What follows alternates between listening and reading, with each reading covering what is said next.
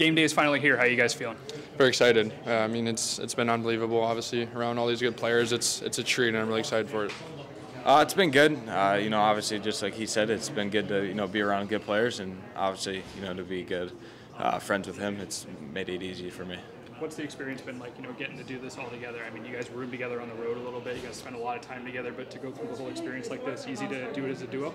Yeah, I think. Well, obviously, I'm very lucky to kind of have him with me the whole time. It's it's a lot in your draft year, and some people kind of don't really get that that that guy to go through with it. So it's nice to be able to talk with him and, and see how he's doing, and just it just kind of makes it it makes it better. It makes it easier for both of us.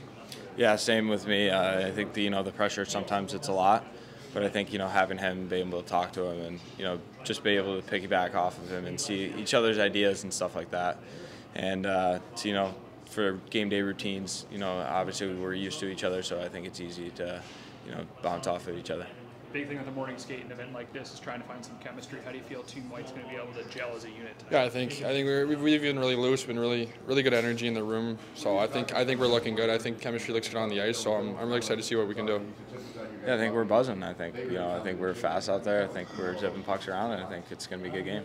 Last one for me. Uh, you guys get a great you know NHL Hall of Famer out. It's a, there's a coach. Were you guys able to chat with him a little bit, learn anything, ask him questions? Yeah, like they've they've they've both been been great with us, like talking to us in the room, kind of making it easy for us to talk to them, passing the puck to us out there. It's been it's been un unbelievable to have those guys around us. You know, obviously, yeah, it's great. I mean, watching them, you know, growing up, I think it's pretty cool to now, you know, talk to them and get advice from them and see what they can bring for us.